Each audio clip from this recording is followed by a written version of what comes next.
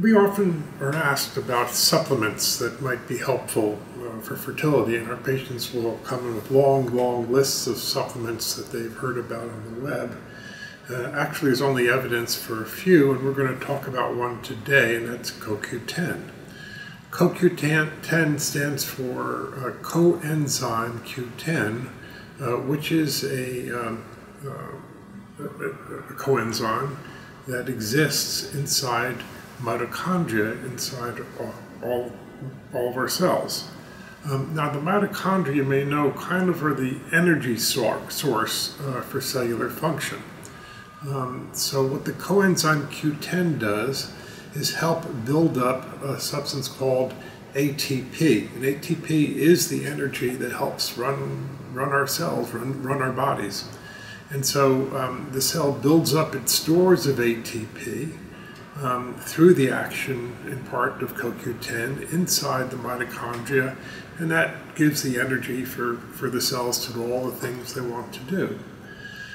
Uh, now, one of the observed um, problems as, as women age or are losing ovarian function um, is that uh, the older uh, you get, um, the less energy is available uh, to the to the egg uh, as it develops, and of course, energy is very important to the egg because the egg is the um, uh, the thing that sort of runs all of the uh, processes in early embryo development. So the sperm shows up and del delivers a little package of genes, but it really falls to the egg uh, to carry the weight in the first few divisions of an embryo.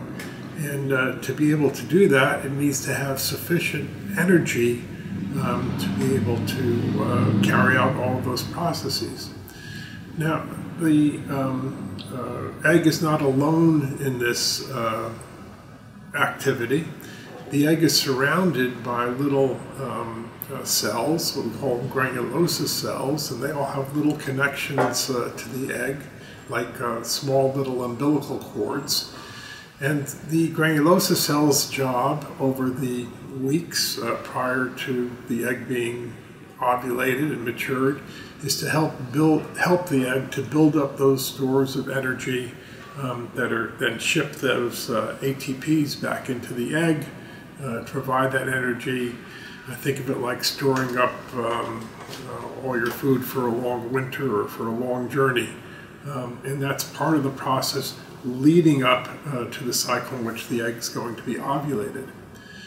So um, what we found, um, and uh, what's been published in a few uh, studies, and this is one of the few supplements that have some evidence to support uh, that they actually do something, is that uh, in animal work uh, and in, in, human beings as well, um, exposure to CoQ10 uh, for a few weeks or months prior to going through um, a cycle of IVF um, uh, in people, obviously, um, will lead to uh, better quality eggs, more eggs being produced, and better quality embryos. And so, um, although there's not a lot of data, the data that we uh, see is um, compelling.